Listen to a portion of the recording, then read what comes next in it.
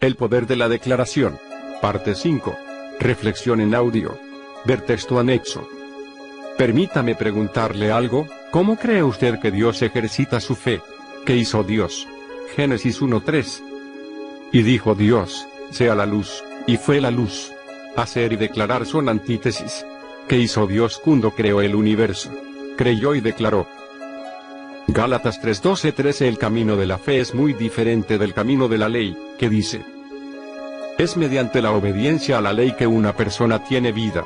Pero Cristo nos ha rescatado de la maldición dictada en la ley.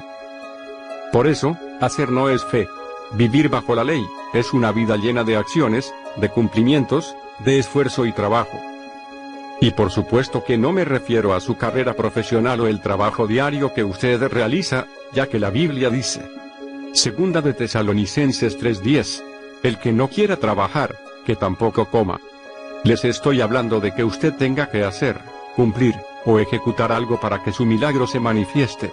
Hacer algo para recibir su bendición. Hacer algo para justificarse o salvarse. Hacer algo para recibir la aceptación de Dios. Ya que las acciones, la ejecución de actos y cumplimientos, obras, no es la justicia que Dios desea ver en nosotros. Dios desea vernos hablando en justicia. Quiere que creamos y declaremos. Dios habló a mi corazón y dijo, mientras sigas haciendo y ejecutando cosas, haciendo obras en tus fuerzas, le estarás dando la victoria al diablo.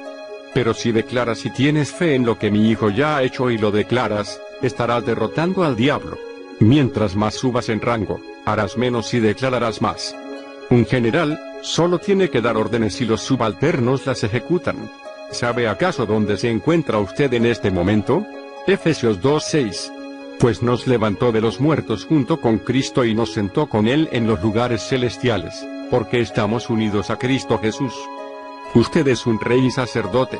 Primera de Pedro 2.9 son un pueblo elegido. Son sacerdotes del rey. Declarar y orar van de la mano, no están divorciados. Dios les bendiga. Continuará.